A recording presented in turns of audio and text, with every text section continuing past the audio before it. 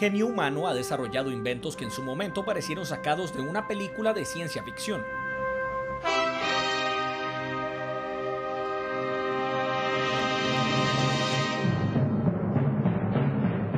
Pero la tecnología es muy ingrata. Hace unos años presumíamos con tener el último cassette de nuestro artista favorito.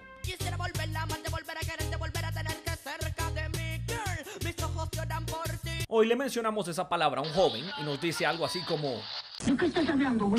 Sin embargo, hay algunas personas que se resisten al paso de los años y no dejan que los avances tecnológicos les roben el gusto por hacer las cosas a la usanza antigua. Don Aníbal Arias es uno de ellos. Este palmareño de 78 años dejó su pueblo a los 14 y se fue a San José en busca de aventuras. Encontró trabajo como mandadero en el estudio Pacheco. Ahí se enamoró de la fotografía y comenzó a aprender el oficio con una pasión envidiable. Los 8 de, diciembre, que era de comuniones, empezaba uno a trabajar con placa, no con rollo, ni con 135, ni nada, solo placa, de, de, dos, de dos negativos, uno por cada lado. Empezaba a las 9 de la mañana y terminaba, uno a las 9 de la noche. Don Aníbal hizo una gran carrera como fotógrafo. Trabajó para Franklin Chang e incluso fue de los primeros en tomarle fotos a Sor María Romero. Actualmente se puede apreciar una gran colección de fotos suyas en la entrada al mercado de Palmares.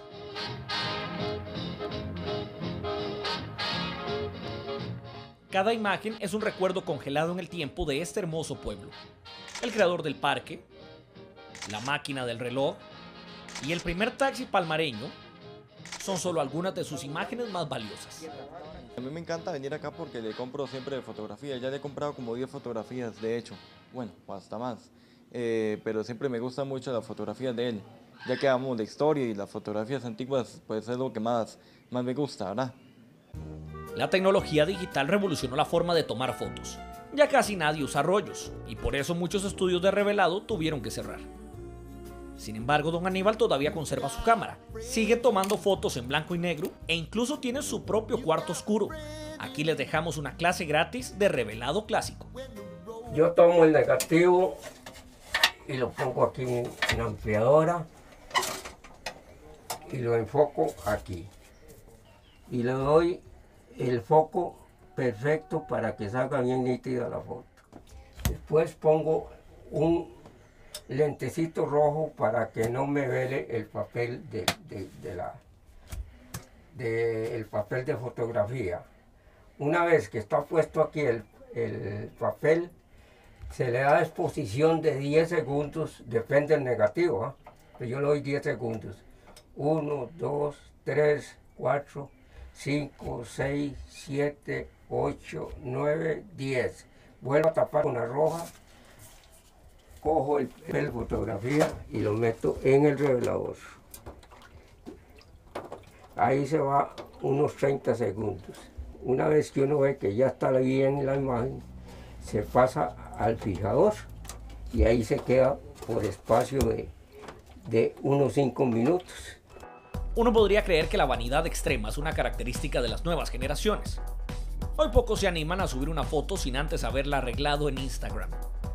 Pero aunque suene increíble, varias décadas atrás ya la gente exigía retoques en sus imágenes, solo que la bronca le quedaba a expertos como Don Aníbal. El retocador era un, sistema de un cajoncito con, con una lupa, un, vidrio, un, un, círculo redondo en el centro con un vidrio enmerilado y el bombillo atrás fuerte. Ahí se ponía el negativo y con lápiz con lápiz se iba quitando todas las... Después esto se... Se quitaban las sombras de la cara, las espinillas. Bueno, salían más jóvenes, salían más jóvenes. Y como le conté a usted la, la historia de esa señora que, que quería salir muy joven y salió gateando. Los años siguen pasando y la tecnología se supera a sí misma cada día. Pero eso no desvela a este fotógrafo de Palmares, quien seguirá capturando momentos hasta que la vida se lo permita. Porque me gusta y fue lo único que aprendí bien. Lo único que aprendí bien. Y si yo que me quedan bien las fotos y a todo el mundo le gusta, las sigo haciendo.